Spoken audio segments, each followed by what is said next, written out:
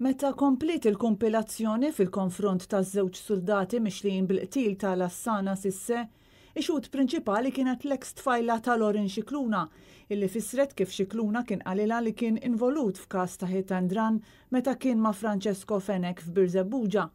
Iżda qabel l-arrest, Scicluna kien qalilha li bniedem ta' karnaġġon skur kien ħarġilhom għan-nofs u tajruh.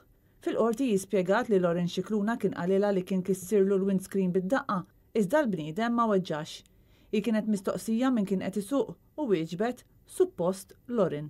Ftit wara li temmet ix-xhieda għall-mistoqsijiet tal-prosekuzzjoni, bl-eks għarusa tintalab biex tibda twieġeb il-mistoqsijiet min-naħa tad-difiża, Lauren Scicluna deher kommoss ħafna u f'ħin minnhom sa anke qabad jibki.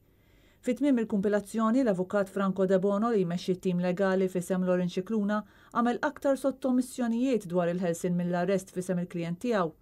Huwa qal li l-maġġoranza tax-xhieda taw id-depożizzjoni tagħhom f'dan il-każ u għaldaqstant issa wasal iż-żmien biex it-talba tintlaqa'. Il-libertà hija r-regola u mhux l-eċċezzjoni. Ma tlabniex il-ħelsien mill-arrest aktar kmieni għax ma ridniex ngħaġġlu. Iżda issa ħafna mill-evidenza inġabret, qal l-Avukat Franco Debono, liema talba saret ukoll mit-tim legali ta' Francesco Fenech. Il-Qorti iżda ċaħdet it-talba għal libertà proviżorja.